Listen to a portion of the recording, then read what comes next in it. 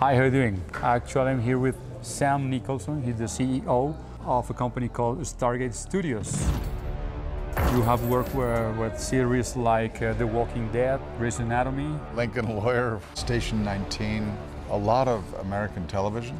We also have uh, Stargate uh, Colombia is working beautifully in Bogota. Uh, we're really looking at Medellin as an extension of what we're doing in Bogota to bring a lot of the technology and people and artists here to Medellin to expand your capabilities in production. Would be nice because the, because the mayor's office with the with the film commission of the of the city are working in a plan to make the audiovisual cluster grow.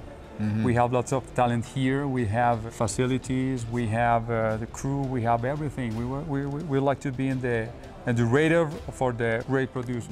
I believe it's perfectly poised to be the next great center of media production, movie production uh, in Colombia. We're working on it.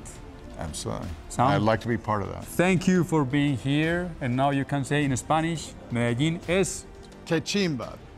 Thank you, Sam. Thank you so much for staying here.